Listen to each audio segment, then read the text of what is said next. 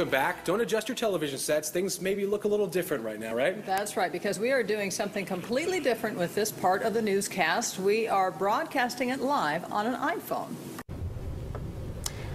And this is a view from our set, give you an idea of how things are set up right here. You can see on the iPhone in the foreground of the shot, pretty cool right there. That's right. We're doing this to showcase how technology is transforming the news business and primetime television because tonight's episode of ABC's hit show Modern Family, which was all shot on an iPhone and an iPad. And here's a clip of tonight's episode. Hi, Mom. Do you have Haley's iCloud password? Yeah, she gave it to me in a little envelope with her diary key and a list of things she's most afraid of. Uh, maybe we could guess it. Claire, you accidentally hung up on me. Oh, yeah, well, honey, you know me and computers. Mom's trying to guess Haley's iCloud password, which personally I think is an invasion of her privacy. Ooh, try password.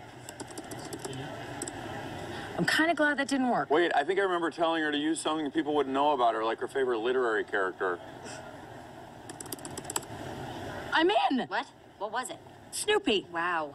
And that could be your new nickname. Okay.